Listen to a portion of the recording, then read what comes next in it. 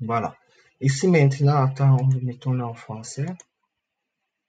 Fournir les pièces justificatives. Voilà. Maintenant, ils vont vous demander les passeports, la langue demandeur, donc tout ce qu'il y a à faire ici. Donc, il faut juste fournir ça juste après quand vous les aviez.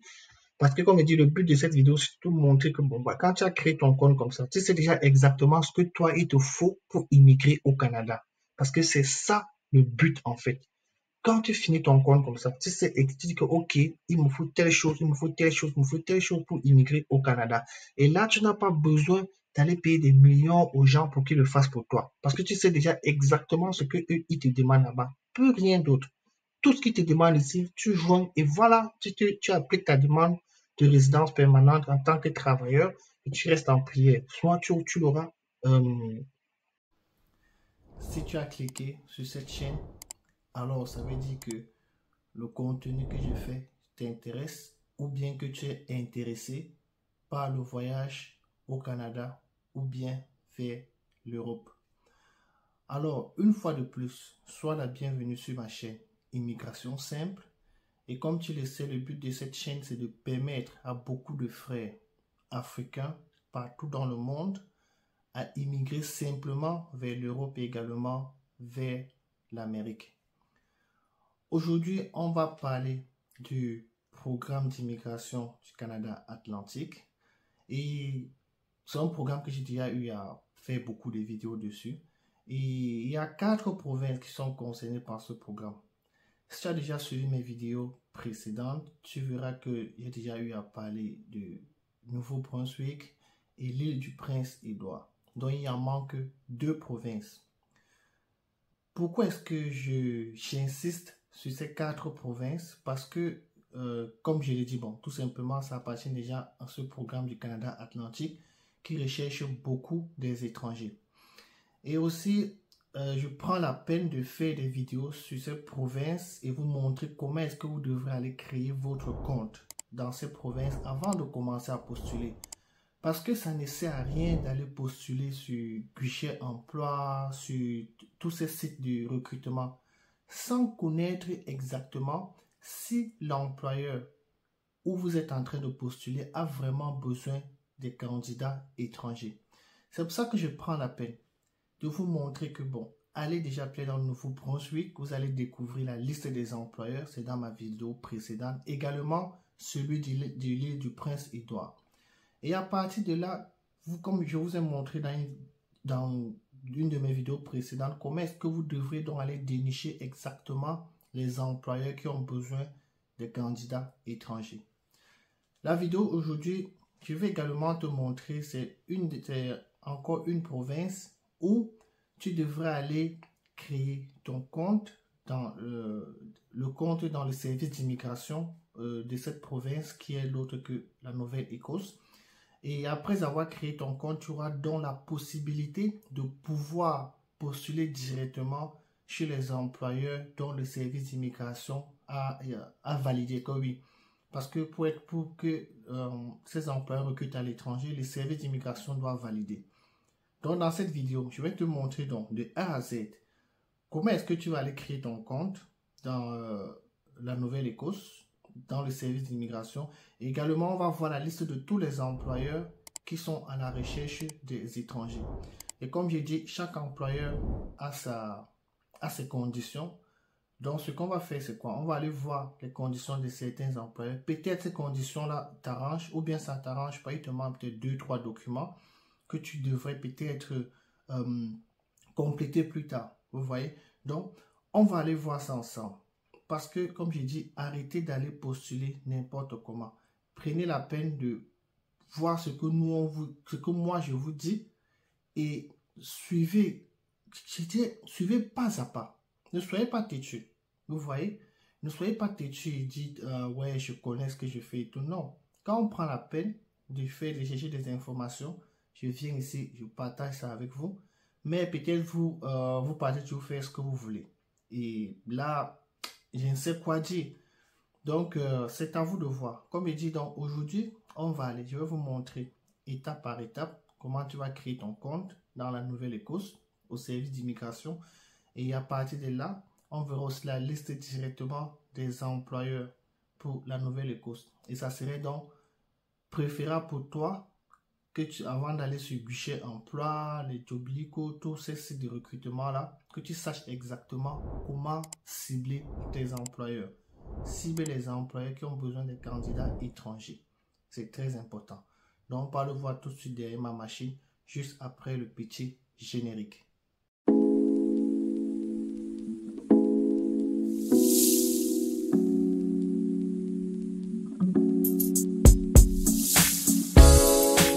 Si toi tu m'as rejoint jusqu'ici, une fois de plus, sois la bienvenue. Comme je vous ai dit, on va aller voir, euh, je vais vous montrer exactement comment est-ce que tu vas aller créer ton compte dans le service d'immigration de la Nouvelle-Écosse et également voir comment est-ce que tu vas aller dénicher les employeurs qui sont euh, emplois qui sont en demande dans cette province. Soyons plus trop longs, donc euh, commençons tous ensemble. dans Google comme d'habitude, qu'est-ce que tu tapes? Tu tapes Bon, c'est là en bas, gouvernement. Attention là. Tu tapes gouvernement. Bon, ça refuse. ensemble. Gouvernement de la Nouvelle-Écosse au Canada. Donc, vous voyez, c'est le site du gouvernement. Et vous allez voir, c'est celui-ci. Communiquer avec nous. Donc, ça, c'est le site du gouvernement de la Nouvelle-Écosse au Canada. Quand tu entres, voilà. Donc, on me dit, il faut suivre exactement ce que j'ai fait, sinon vous allez vous perdre. Parce que c'est vraiment compliqué. Ici, dans cette barre de recherche, tu tapes immigration. Comme vous voyez là, après tu cliques sur recherche. Ça cherche. Et ici, ça t'envoie dans cette... Euh, là, tu vois, il y a plusieurs liens de recherche et tout, mais prends, tu cliques sur le premier. Le premier lien.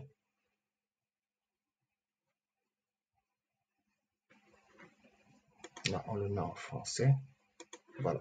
Immigrer ici, c'est le mot immigration, immigrer qui nous intéresse. Donc, on entre ici. Voilà. Là, vous avez plusieurs, euh, euh, plusieurs liens et tout. C'est bon. Nous ici, ce qui va nous intéresser, c'est quoi? Allons sur les professions en demande. On entre.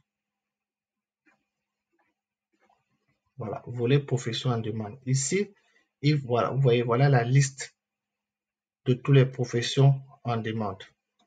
Maintenant, il dit ici, qu'est-ce qu'il faut faire donc? Comment s'inscrire pour ceux euh, dans le site de l'immigration, comme je vous ai dit? Ici, il dit postuler en ligne. Donc, on entre. Voilà. Ici maintenant, on a programme d'immigration de l'Atlantique. Ça, c'est celui qui est dans le site du gouvernement canadien mais c'est plutôt celui-ci qui nous intéresse. Programme des candidats de la Nouvelle-Écosse. Qu'est-ce qu'ils nous disent? Appliquer maintenant. Donc, on va créer notre compte dans ce, euh, dans, euh, dans le service d'immigration de la Nouvelle-Écosse. On le met en français. Voilà. Ici, il vous dit, voilà ce qu'il faut faire. Créer un compte, remplir la demande, imprimer une copie du dossier, il dit tout ce que vous devez faire, ce que vous devez faire ici. Bon. Nous maintenant, qu'est-ce que nous intéresse, c'est appliquer? Donc, on va appliquer. Parce que c'est en appliquant que tu, auras la possibilité de créer ton compte. Voilà, vous voyez ici, créer un compte. Bon, là, je vais faire, euh, ça. Bon, qu'est-ce qu'on va faire? Nous, on va créer un compte. Donc, créons le compte. Voilà le processus qui nous dit, il nous dit tout ce qu'il faut faire. OK, continue. Voilà, avis de confidentialité, il dit tout ce qu'il y a, tout ce que vous pouvez lire, hein, vous pouvez lire après, tout ce que vous devez faire. Mon but ici, c'est vous montrer comment est-ce que vous devez créer le compte. Voilà, et comme ici, comme d'habitude, même principe, rien ne change. Prénom au nom de l'usage. Prénom, mon prénom là, Dominique, famille, je mets là, Waco,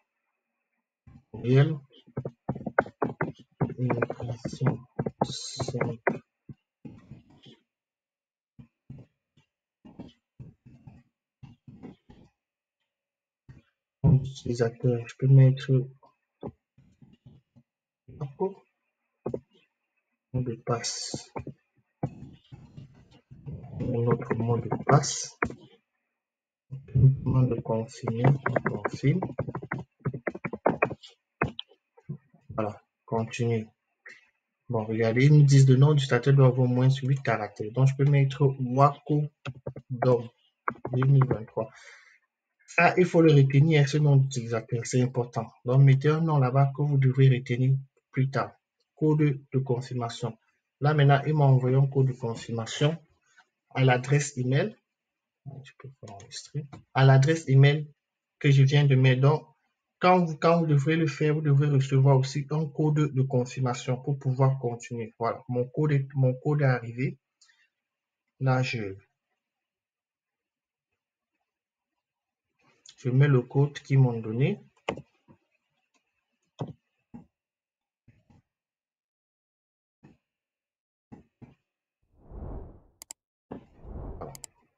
Je mettre mon code de confirmation. Je confirme et je valide. Le courriel est confirmé. Vous pouvez maintenant utiliser votre code. Voilà. Là, allez en ligne.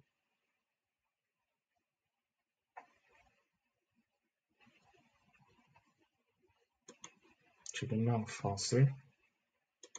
Je fais enregistrer les paramètres du service. J'accepte les conditions. J'accepte. Enregistrer les paramètres du service. J'enregistre. Voilà. Là maintenant, je suis dans mon compte. Vous voyez ici, immigré en Nouvelle-Écosse. Voilà, je suis le bienvenu Dominique. Donc, euh, comme vous pouvez lire, bienvenue Dominique, immigré en Nouvelle-Écosse, la Nouvelle-Écosse du Canada. Et ici, expérience, bon, là, il vous donne, si tu es médecin, tu parles là. Si tu es euh, sur le marché des médecins, ils nous disent la profession en demande, donc, il y en a, plusieurs. Bon, nous, on va aller sur profession en demande. Donc, on va aller créer notre compte sur cette rubrique profession en demande. Parce que c'est ça qui nous intéresse. Voilà. Formulaire de candidat principal. Donc, voilà. Voilà tout ce qui demande. C'est euh, toutes les sections d'application dont ils ont besoin. Vous voyez, donc on peut commencer. Vous voyez, c'est 18 étapes. Donc, euh, et ça vaut le coup, franchement. Il faut le faire. Donc, comme je l'ai dit, nom de famille, là, on met. Je mets prénom, je mets la communique. Et franchement, ce compte, c'est très important. Il faut le faire. Avez-vous déjà utilisé un tel nom ou avez-vous déjà utilisé un autre nom? Non. Sexe, masculin, date de naissance. Bon, ouais, ça apparaît là, mais vous, il faut mettre vos vraies dates de naissance et pays de naissance. Là, je peux mettre, euh, mettons par exemple le chat, euh, citoyenneté actuelle. On met, euh, bon? Mettons, mettons, je suis angolais, on connaît angolais, c'est pas grave. Euh, quel on vivre maintenant? Là, euh, bon, vous mettez les vraies informations, hein, bon, parce que je, comme je montre, je vous montre juste, disons que je suis au Bénin. Voilà, sauvegarder et continuer. Donc, vous voyez, les gars, vous suivez juste les étapes qu'il vous demande. Maintenant, il demande le numéro du passeport. Bon, moi, j'ai peut-être mis celui-ci. Euh, on peut le mettre en français pour que vous, tout le monde, pour que vous compreniez. Pays d'émetteur, dans le pays où vous avez votre passeport. Par exemple, mettons, euh, hmm, je peux mettre le Cameroun. Date d'expiration, ouais, mettons telle cette date. Voilà. Après, on continue. Contact email. Donc, on met tu mets ton adresse email ici. ton adresse email, hein. donc, euh, que tu vas utiliser. Ouais, je mets l'adresse de ma page. Voilà, voilà, c'est là. Numéro de téléphone. Euh, hmm, numéro téléphone. Bon, je mettons 00237. Là, on met le numéro. Hein. Et là, comme il dit, vous devez mettre votre vrai numéro de téléphone. Après, il demande le type de téléphone que vous avez. C'est le mobile téléphone number. Voilà. Après, adresse. Bon, ici, il demande euh, votre, euh, votre adresse. Bon, il, peut, peut, le mettre en français pour que vous compreniez. Il demande l'adresse postale. Bon, on peut peut-être, je dire, mettons, prenons par exemple, euh, prenons le Cameroun, par exemple. L'adresse, vous mettez juste une adresse. Hein. Moi, j'ai bon, donc il faut absolument remplir euh, cette page ici. Là, tu, on peut mettre par exemple littoral. Comme je dis, si vous n'avez pas d'adresse et tout, comme je dis dans plusieurs de mes vidéos, essayez de trouver peut-être pour un oncle qui travaille quelque part, qui a une adresse fixe. Là, il peut vous donner l'adresse et vous mettez ici. Votre adresse personnelle était dit oui, on dit oui. Voilà. Après, on continue. Vous voyez, résidence. En français, vous comprenez. Où comptez-vous vivre en Nouvelle-Écosse? avant de commencer ici, il faut déjà avoir fait des petites recherches et savoir où est-ce que tu veux vivre dans cette province. Donc, choisissons une province au hasard. C'est bon là. Bon, ils disent énumérer tous les endroits où vous avez vécu les cinq dernières années. Bon, moi, je, moi, vais dire du 2013 peut-être la 2023. Moi, j'ai vécu euh, au Cameroun, à Voilà. Cameroun. Province, État ou district? Cameroun. c'est bon. De toutes les façons, s'il y a une erreur, ça va nous dire qu'il y a une erreur. OK. Donc là, on met en français pour que nous puissions comprendre. Quel est votre, voilà. Donc ici, si tu es marié, divorcé, tu mets tout. Tu mets ce que tu es cumulé, célibataire et tout ce qui va avec. Moi, je suis célibataire, donc je vais mettre ici célibataire. Je continue.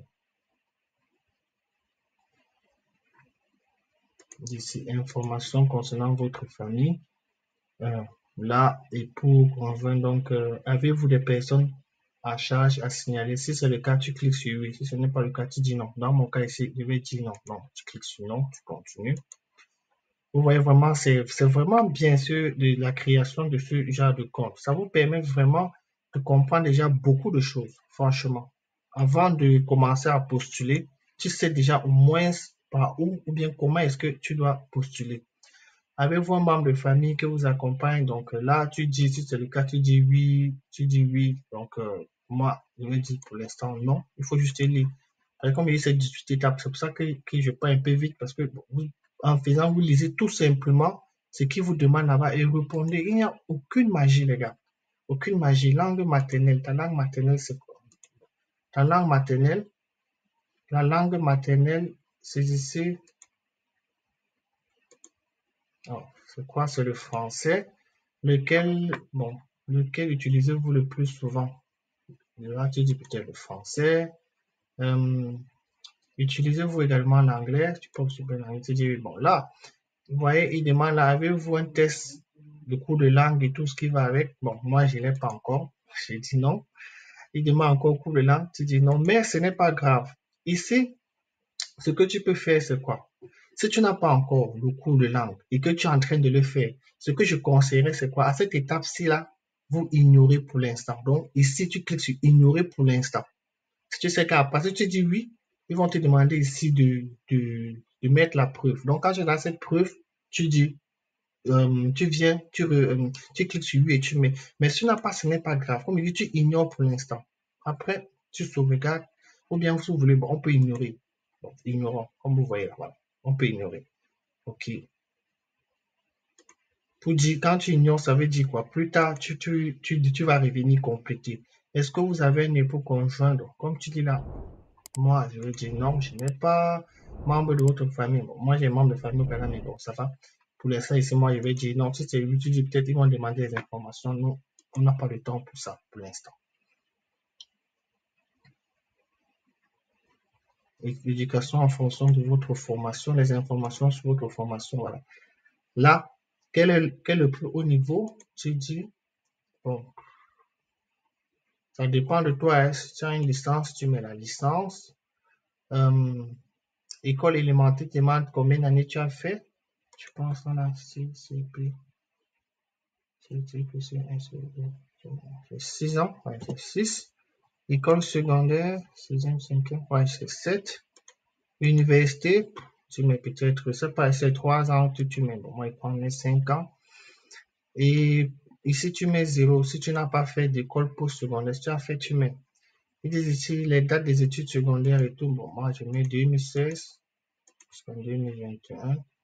Nom de l'institution, euh, mettre UIT. Cameroun, comme vous voyez là, où j'ai fait un diplôme. Bon, c'était au voilà. Voilà, Cameroun.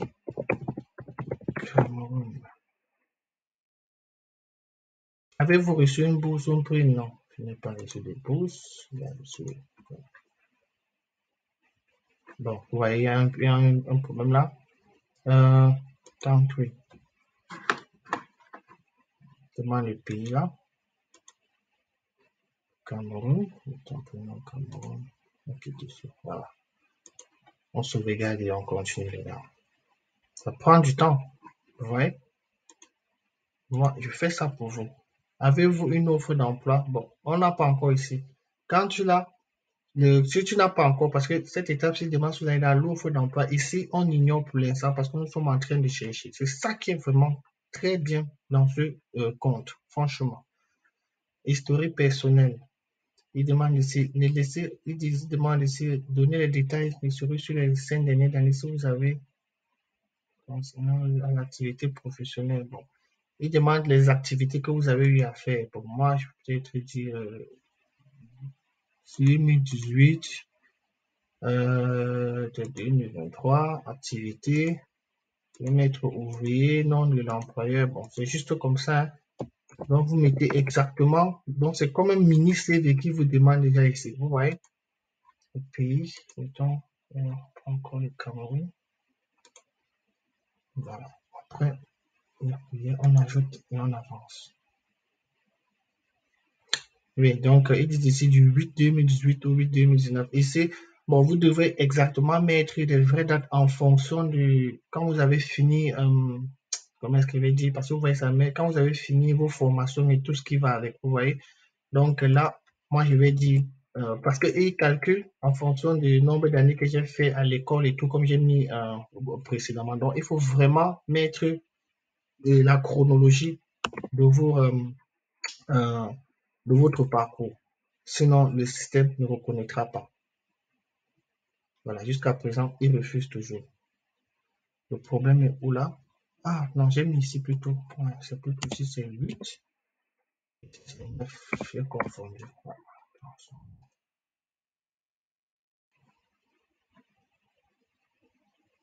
Vous voyez, donc, ils, ils, sont en train d'examiner, en fait, toutes les informations que j'ai eu à mettre. Il me dit que non, voilà la date de telle qui peut passer. Donc, euh, donc il dit, il faut absolument euh, donner la chronologie. Oui, maintenant, ça a pris. Ça qui dit, c'est ça, c'est vraiment très impressionnant, ce site. Ça prend du temps, vous voyez. Là, qu'est-ce qu'il demande de faire? Bon, vous écrivez ce que vous pouvez, pouvez écrire ici, un petit test de, comme vous savez bien le faire. Donc, euh, il n'y a rien de truc on sauvegarde et on continue.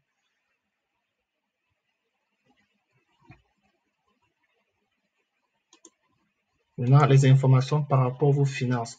Il demande ici euh, la devise. Donc, ça dépend de quel, dans où tu te trouves, dans quel pays tu te trouves. Nous, nous sommes, euh, disons que en Afrique centrale, c'est le franc CFA.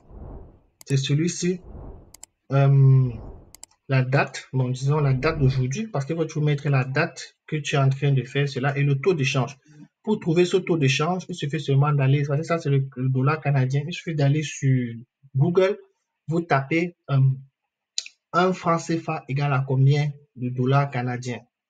Vous voyez, ils vont vous dire exactement ce que ça donne. Voilà le taux de change. Et il faut exactement, il faut mettre là parce que c'est très, vous allez le voir, ça laisser en bas. Et maintenant, ils vous disent combien est-ce que vous avez, par exemple, dans votre compte?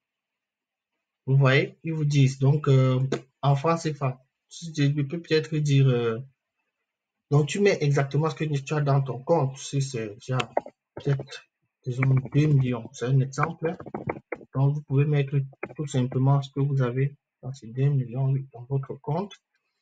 Type bancaire, tu dis compte bancaire, numéro de compte, tu mets ton numéro de compte titulaire du compte. Je mets, je mets la Dominique, c'est moi le titulaire. Institution, je mets peut-être BEAC.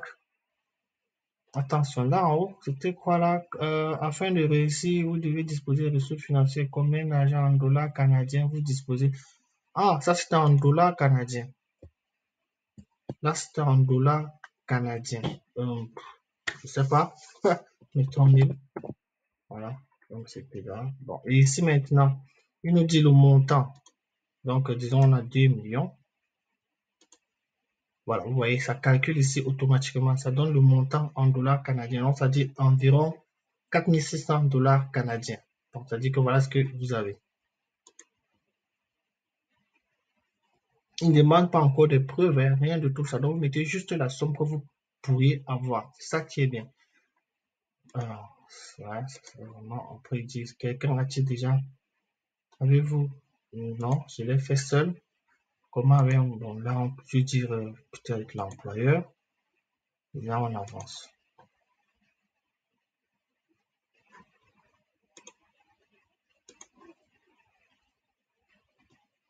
Ici, oui, tu es demandeur.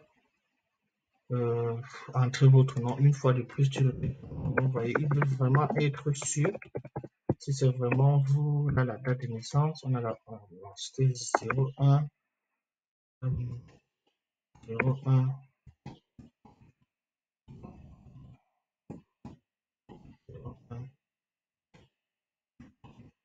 2000 en France. Il y a quel problème? Ah oui, tu dois valider, il va accepter, je n'avais pas coché. Mais même ici, euh, il demande, oui, je valide encore, encore ton nom. Vous voyez, parce qu'il veut vraiment être sûr. Je vais valider, non? Encore? Mon nom. C'est moi qui. Et encore la date de naissance 01 après on se regarde et on avance voilà. Ici maintenant attends on là en français. Fournir les pièces justificatives voilà. Maintenant ils vont vous demander les passeports la langue demandeur donc tout ce qu'il y a à faire ici. Donc il faut juste fournir ça juste après quand vous les aviez. Parce que comme je dis, le but de cette vidéo, c'est de montrer que bon, bah, quand tu as créé ton compte comme ça, tu sais déjà exactement ce que toi, il te faut pour immigrer au Canada. Parce que c'est ça le but en fait. Quand tu finis ton compte comme ça, tu sais, et tu dis que ok, il me faut telle chose, il me faut telle chose, il me faut telle chose pour immigrer au Canada. Et là, tu n'as pas besoin d'aller payer des millions aux gens pour qu'ils le fassent pour toi. Parce que tu sais déjà exactement ce que ils te demandent là-bas. Plus rien d'autre. Tout ce qu'ils te demandent ici, tu joins et voilà, tu, tu appliques ta demande de résidence permanente en tant que travailleur et tu restes en prière. Soit tu, tu l'auras, euh, soit tu, euh, excusez-moi là, il y a un petit instant soit tu euh, auras la bonne réponse positive ou bien une réponse négative. Donc, je pense que on va s'arrêter ici pour aujourd'hui. Ça, c'était la première partie. Et je vais faire une deuxième partie pour vous montrer donc comment aller dénicher les employeurs. Sinon, la vidéo va être vraiment, vraiment très, très longue. Donc, ah, et quand tu fais maintenant tout ça, tout ce qui te reste ici, c'est sauvegarder et continuer. Si tu n'as pas encore tout ça, comme je dis, ce qu'on fait ici, c'est que tu ignores. Donc, tu ignores cette étape pour dire que tu vas revenir là plus tard. Vous voyez?